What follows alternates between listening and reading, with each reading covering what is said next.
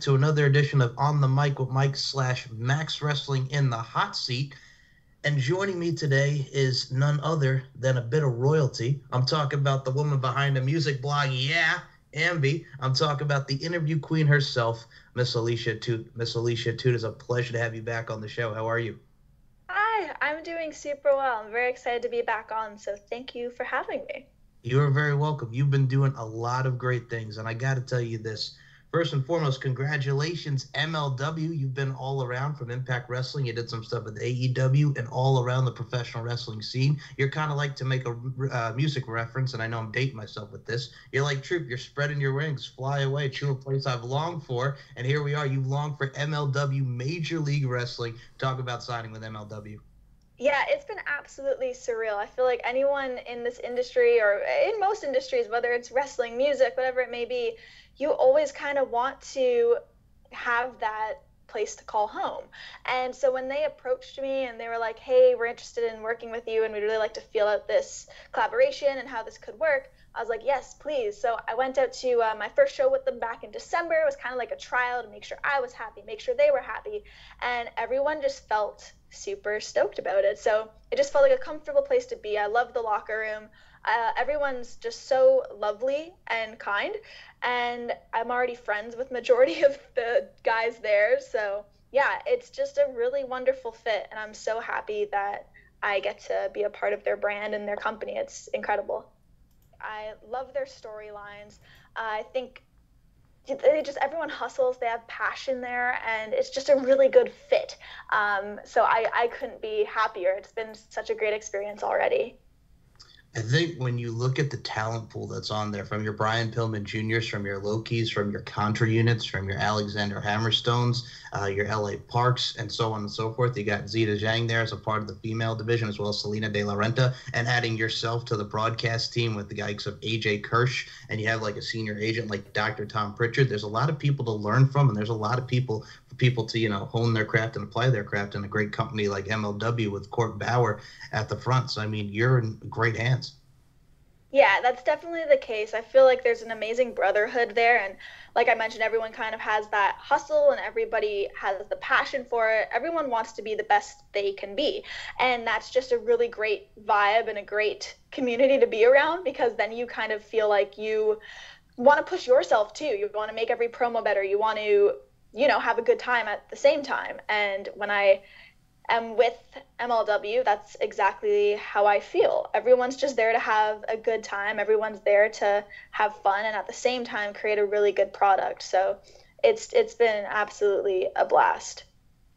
And I look at it like this, like you look at like so many promotions. And I think that's what's great about professional wrestling now in 2020. You have your WWEs, you have your NXT as a part, part of that Raw, SmackDown, you have your AEWs, you have your Impact Wrestling, you have your MLW. We're in a time where wrestling is not just on the YouTube channels, on the YouTube front, which is great to see the MLW product, but like wrestling is on like six days a week. And I mean, it's a lot of wrestling to consume. And I think that's great for all the uh, territorial type aspects that we see in professional wrestling now and all the great companies that's definitely the case. There's a lot of wrestling going on, and I feel like it's it's a lot, and I feel like that it's a double-edged sword. I feel like if you're a wrestling fan, you have the time and you want to keep up with all of it, like the hours and hours on end, then awesome. That's fantastic because it just means there's more for you to dive into. But at the same time, if you actually have a lot of other stuff going on, you love wrestling, you're like, oh, what do I do? And you have to you really have to pri- pri- prioritize, prioritize people that you want to watch.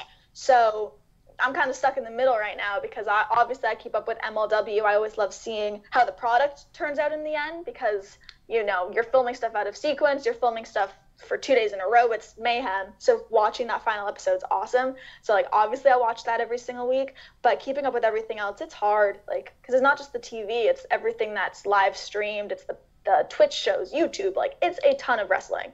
So yeah, the best way I could put it is it's a double-edged sword. It's it's a lot. Agreed. And I mean, you look at like on the New Japan side, when you're waking up for like us in the States at like two or three in the morning to watch Wrestle Kingdom and all these great shows. I mean, it's a lot to take in, but at the same time, I mean, with what everybody's done with work, and I could speak for this as well as yourself, Alicia. I mean, it's just, it's amazing to catch up on that as well. And I look at it like this I mean, like you did a great job with the Bullet Club party last time. Now you're doing the Bullet Club beach party. You're hosting it. What is it like to get back into that? Because it's a fun atmosphere, great fans, great tailgating, and obviously the Bullet Clubs themselves make for an entertaining time. So I mean, talk about getting a part of that again. Yeah, that was seriously, it's going to sound so cheesy, but that was one of the best days I had last year. Like, it was just so much fun. I had an absolute blast there. Um, everyone was just so kind, and the Bullet Club guys. Sorry to say this to all of you, but they are the sweetest. Like they're just they're awesome. I'm friends with so many of them. So when they invited me back, when um Steve, who's the guy who's putting everything together, and he was like, "Hey, would you like to do this again?" I was like, "Yes, please." Um, it's just such a good time. You're literally throwing two sweets like all over the place. Everyone just wants to have fun, and the fact that we're doing it on a beach this time. Like not only are there going to be tons of great drinks and activities, like I think we have massive Jenga. There's like literally water right there. It's on a beach, so you can like swim with the Bullet Club. It's going to just be crazy. Um, I'm very honored that they wanted to have me back and that I kind of was able to prove myself and be that like honorary little member uh, whenever they do these parties. So I'm I'm thrilled. I gotta say, like, this kind of takes me back to 2007, like when I was 15, right? Like SummerSlam, when they had it at East Rutherford, New Jersey. I mean, at the time it was the Continental Airlines Arena. Like when they used to do the SummerSlam parties and you could play like games, they had like a dunk tank, and I'm like, this is great. Not only do you get to meet your favorite superstar, but you get to play games and just have fun with it. That's kind of like what I equated to because I mean, not only do you have the beach party and stuff, but I mean, the list of people besides yourself on this, like you have Ken Shamrock as the head of security, the world's most dangerous man. You have Flip Gordon. You have a lot of great talents on there, like the Allure. You have so many people involved. Obviously, Haku and the Barbarian. But it's like that's a great atmosphere for people. And plus, I gotta say, Ken Shamrock as the head of security. My God. Well, the fun, like the most fun, I almost said funnest. The most fun part of these parties is the fact that there's no real gate separating you from the wrestlers. Like for the block party we did last Mania week, we um we're literally just all roaming the floor. And yes, of course, you have your private meet and greets and VIP things you can do. But if even if you just purchase like GA, you'll literally see everyone from Tama to Jay White just roaming the floor. And you just walk around, you can go up to them, you can shoot the breeze. Like it's a very chill and relaxed atmosphere, breaking down that barrier of fan to talent. You all kind of for a day are just on that same I want to say on the same level because like I'm not separating like people from people, but I mean when people go to these things, there's fans, then there's the stars, and that's how fans see it a lot of the time. And when you're at these shows, people are just people, and they're approachable, and they're fun, and they're genuine, and I think that's the best part of the entire party. It's the fact that everyone's there to have a good time and everyone's accessible. I think it's kind of like when you go up to your suit, like your favorite superstars. When you do these meet and greets, and it's only like, "Oh, hey, how you doing?" You get a little signed photo and a picture. But this is just, I always love these because, like, you look at like a Starcast, you look at WrestleCade, you look at what we're doing with this party here. I mean, it's just the overall environment. Like you said, the people are people. We get to chill. I mean, these are all people that respect and love professional wrestling and love people like yourself for the great work that you do and for the great work that the talent does. So I think it's a win-win all in all. So I think ever since they started doing these and having so many events around WrestleMania time, which again going back to that nuts factor, because there's so much wrestling around WrestleMania time, then you hit the weekend and the whole nine. But it's just it's a great atmosphere. And as a wrestling fan, I can say this, and as a fellow podcaster, it's great just to whether it be interview talents or get to talk about it. I think it's overall great experience for anybody, and it puts a smile on my face as I know it does yours. Yeah, I I looked like a complete doofus at these last parties or these MLW tapings. I just I'm really enjoying what I'm doing now and not that I didn't before, but there's definitely a different element to it. When you surround yourself with really good people and you have fans there that support you and everyone just wants to appreciate everyone, there's respect. Um, it's just why wouldn't you be? Why wouldn't you have a smile on your face? Like I look back at photos from the block party and I just remember I remember how much I was smiling and then the photos are proof and I remember getting um, back to my hotel room that night and like my face just hurt so much from smiling the whole day. So it's just yeah, it's it's been really good, and those experiences have been amazing.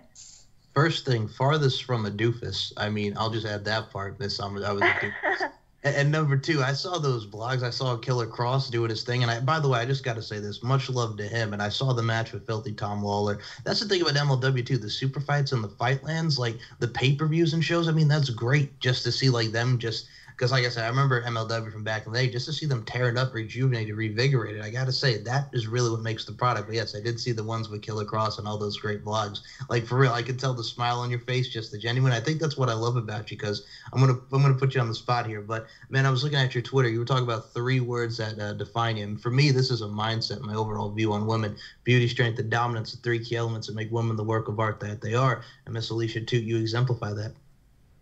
Well, thank you. No, that's really kind of you. I there was that this like it was weird because I posted that tweet out of curiosity and I had like these two trolls out of every there was like hundreds of replies and out of everyone that replied there were these two trolls that were like wow you've really gotten full of yourself haven't you? And that wasn't the purpose of the tweet. I didn't want to hear the beautiful I didn't want to hear that kind of stuff. Like I'll take it. It's very kind.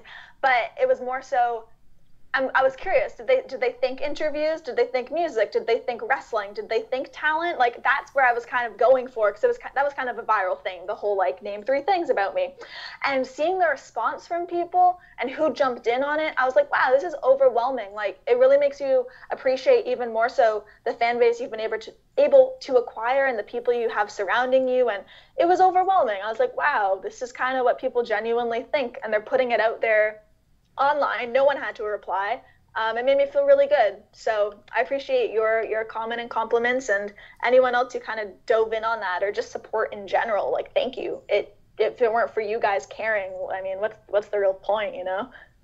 I look at it like this. First and foremost, you always pique my interest in music and wrestling. I think we touched upon this last time, but like those are two great things in the world. You have music and wrestling, two of the best art forms, and very similar in the lifestyles and overall travel in both different, you know, art forms. But I also look at it like this, and I'm going to say this and give them a shout out. Ella J of a Wrestling Gal podcast and Samira. Like these two girls right here, some of my favorite people. Like I think with you is you're this generation and girls like them and people like who want to get in the interviewing field. Like you're inspiring, you're resonating, you're generating, and you're evoking emotions with what you're doing. So I think that's got to make you feel good. Like you're inspiring the next generation. I want to get in their interviews. They said, hey, I watched a vlog from Alicia Atout, or I watched this interview, I watched that interview. You were really paving the way for a lot of people. Yeah, it really shocks me completely anytime I get messages from people saying, "Hey, I decided to take journalism because of you," or "Hey, I started a blog because of you." Like that blows my mind. Um, I've had people write me stuff like that to, "Hey, I'm going through a hard time," or "Hey, I have this disease and I'm going, I have surgery and I watch your stuff to make me happy." Like all these different avenues, and people out there are appreciating in some way what I do and the fact that I can help them through a rough time or help them find a passion or a career like that's that's mind-blowing to me. It's just I never set out to be like a public figure and I'm nowhere near how big I want to be. I probably told you that last time too.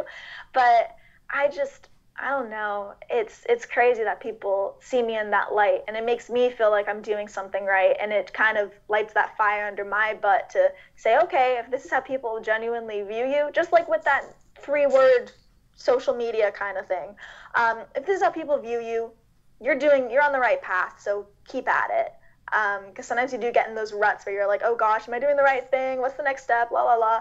And uh, whenever I get those messages from people, the genuine ones where they're like, thank you for what you do, um, it's just, it warms my heart. So if you've ever sent me something like that, um, thank you guys. It means so much.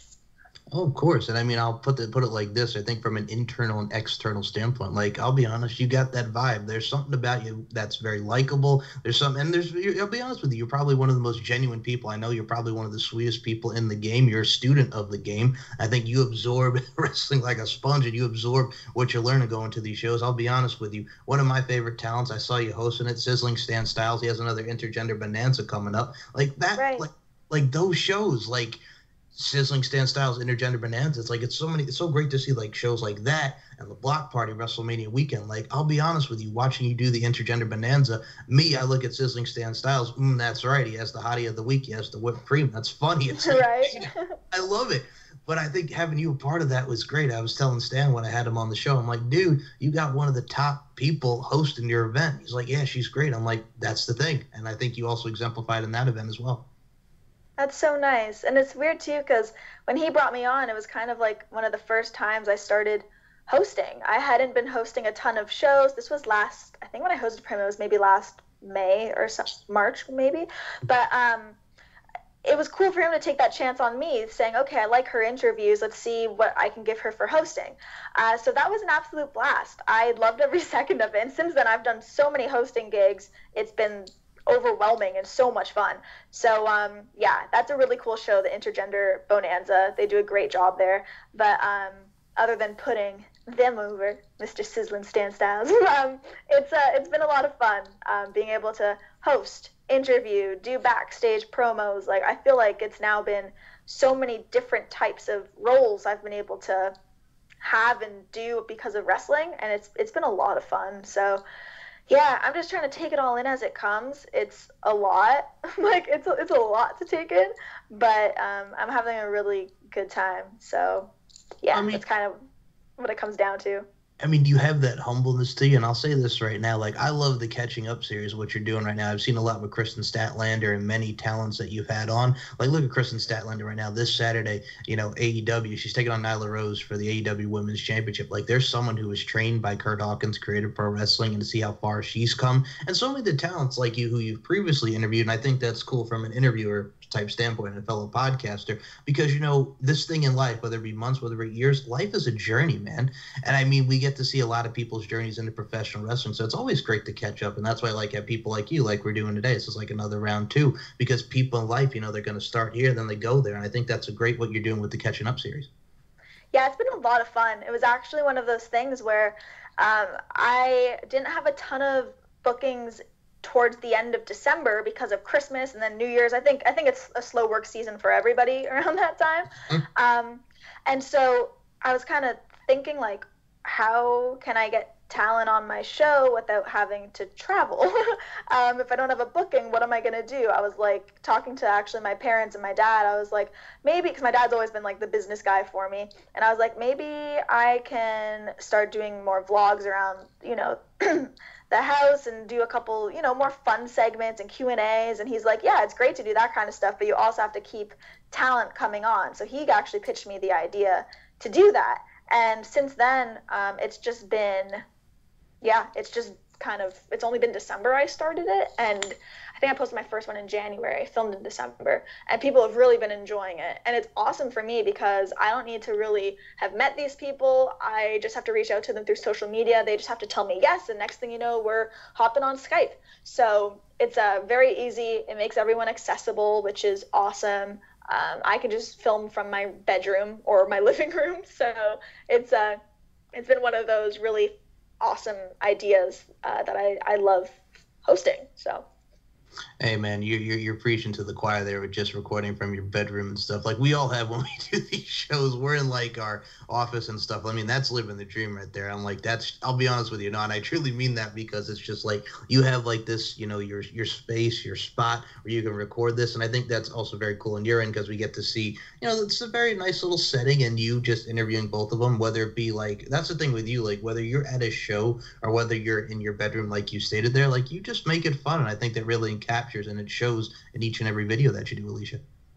Yeah, that's well, thank you. And that's kind of the coolest part. It's I can be out at a show or I can just as I said, be filming from my room. I sent out a tweet not too long ago, like, guys, all every single video you've watched that's a vlog, that's not me like traveling. I am business on the top and pajama pants on the bottom. like it's just it's so awesome being able to do this kind of stuff from your house in the comfort of your own home and still make sure that the quality and quantity is there for everybody. So, yeah, that's been a lot of fun for me to try to figure out and make sure the product continues to be really good and all that stuff. It's a it's awesome working from home and being your own boss. of course, and I mean the DIY do-it-yourself. I'm not talking about Johnny Gargano and Tommaso Ciampa in this instance, but of course, and I mean the pajama pants on the bottom. I like that. That was a great tweet, by the way. But no, I mean, it really shows. And I mean, I look at it like this as well. Like whether you're on social media doing your YouTube stuff, or I gotta bring this up, man, because damn, the six second blink challenge. Like uh, I know we're gonna get into this because man, you were livid by one second that close. But every time I see that, I either crack up because it's like you're this close, or you're just like, all right, man, you really get into some serious blink challenging with them six seconds. I hate that game. I hate it so much. I feel like it's just taunting me. I'll either get like 300 milliseconds over, or I was literally I think like one millisecond away yesterday. It's just I hate it, and I, I actually told myself about a month ago, okay, I'm gonna take two weeks off.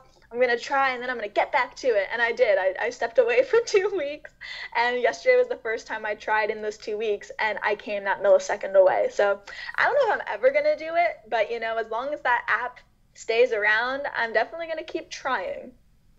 I think you should, and I'll be honest with you. I think it's cool. Like, there's so many like funny viral stuff, like the six second blink challenge. Isn't it amazing just to see what goes viral in the social media days? I mean, whether it be compliments, which again, which is great. I always, I'll go back to that for a second. But look at like united, not divided, is my saying. It's like you know, we got a lot of people hard working in this world. Whether we're having fun with six seconds blink challenge, which again, I love your livingness and I love your passion, which cracks me up every time. But if you tie in and correlate that, I mean, it's just I look at the social media game. I know people talk about social media's pros and cons, but I mean, like, we're all united, not divided. We're all in this thing together. Not to quote High School Musical, but we're all in this thing together. Like, we look at, like, you know, I'm just saying because, like, everybody's trying to work hard, interview and podcast and what have you. And I, I'm going to say this right now there's a lot of bullshit excuse my language, but pun intended, there's a lot of bullshit and unnecessary drama. I mean, we're all in it for the same game, for success and just, you know, passion. So. No, definitely. And there's a lot of crap you deal with. So when you have those little distractions, whether it's like binge watching a Netflix series or a six second challenge or video games, you need those little things to sprinkle in because you deal with a lot of crap. So, yeah, I couldn't agree more on that front. Hey man, when I'm sitting at home and I got nostalgia, SmackDown, Here Comes the Pain, or what have you, which everybody will argue that it's one of the best video games ever. And do not tell AJ Kirsch that because he will tell you no mercy all day, every day. And I love you, AJ Kirsch, but he's very big into the no mercy series. But it's like whether it's from video games or what have you. I mean, there's a lot of things that help people get centered and just, you know, you know what I'm saying. If you're not hurting anybody, if you're really centered, you really have a goal, go for it. I think that's what we see from yourself, Alicia, too. That's what we see from podcasts, and that's what we see in general. I think what whatever anybody wants to do, whatever endeavor career, just go out and do it. DIY like you do, do it yourself. Just find that avenue and just go for it. I can't be any more, you know, appreciative of that. Like me, I've been doing this for four years. You've been doing your thing with Ambi. It's a blessing. I think what we do as a job, I think that's the best word to describe it. It's a blessing. No, it's definitely the case. It's one of those things where you have to really take a step back and appreciate how cool it is that you get to do what we're doing and the fact that if you're able to get some success with it too, I mean, all the better to you. Um, it's it's a definitely you're talking about DIY. It's definitely a crazy ride when you do it yourself. There is a lot that goes into it. There's a lot of sleepless hours, but at the same time, it's well worth it. So if you do have one of those types of passions, just stick to it because in the end, it can definitely work out to uh, be a pretty amazing thing. So yeah, I just kind of went on a rant there, but uh, it's um, it's yeah, cool. it's amazing when it works out. I mean, we're, I'll be honest with you. Don't even apologize for ranting because people tell me I'm, a rambling man. Boy, I was born a rambling man, ranting. It's just it's the passion that shows, and it really shows through when we do these shows or what have you. And it, uh, here's the thing: I love talking to you. I truly do. And what's worth it is you're worth it. What's worth it is doing these interviews because people. I think what's great about podcasts as well. Last thing I'll add to it: we give the people platform to tell their stories. So if you've never heard of X, Y, and Z wrestler, what have you, you're gonna learn from it through the interview. And I think we generate and show that with each and every show, whether it be questions about how they got into the industry or what they're doing, whatever facet of life. There's a word for you. Whatever facet of life that they are, I think it's I think it's special. But yeah, no, I think that's what you do, and, and you do it to the top notch. I mean, that's why you're the interview queen. Which again, royalty, man. I love that. I've always loved that moniker. I'll tell you this all day, every day. The interview queen, and you live up to it. Well, thank you so much. I appreciate you wanting to have me on. I definitely see the hustle as well, which is cool when you see it in other people. So yeah, thank you for wanting to have me on and for taking the time. It's been fun. It's, not a problem. It has. And like I said, you're welcome back on anytime. The overture's here. Uh, people follow Alicia Atout. If you're not, what are you doing? She's a great follow on all platforms of social media. This is where I step back, Miss Alicia Atout. Facebook, Twitter, Instagram, YouTube, the whole nine. The floor is yours. Please go right ahead and please promote some upcoming events. Yeah, absolutely. So if you guys just check out Alicia Atout on uh, Google, you will find my Facebook, Twitter, Instagram, and most importantly, my YouTube channel and website where all the content is posted. I have tons of interviews, tons of vlogs. There's just a lot of really cool, exciting stuff coming up. Also, be sure to check out MLW, which airs every Saturday night. You can watch it on beIN Sports at 9 p.m. Or if you don't happen to have the channel, you can check it out on YouTube for free um, every Saturday at 6:05 p.m p.m. And if you miss it at 6:05 p.m., it stays on our channel. So all you have to do is hit up the channel, and it'll be there as far as upcoming shows, I'm going to be at big events March 7th. We have MLW in Mexico on the 13th.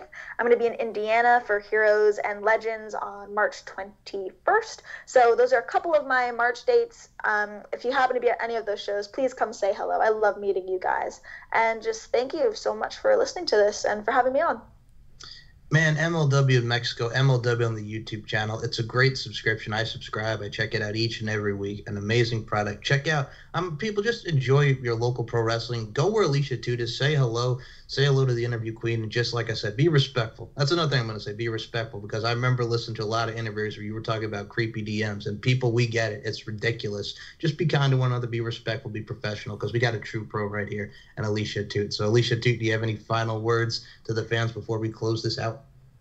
honestly just thank you so much if you've ever shown the smallest amount of support it really doesn't go unnoticed and i just I, I can't thank you guys enough for caring so my main thing to say is just thank you for supporting what i do it means a lot from the music aspect, I know I'm going to outdate this with my age here, but I'm going to quote the great Earth, Wind, and Fire. You're a shining star, no matter who you are, shining bright to see what you could truly be. Alicia Atout, I appreciate your time. Thank you so much. Thank you.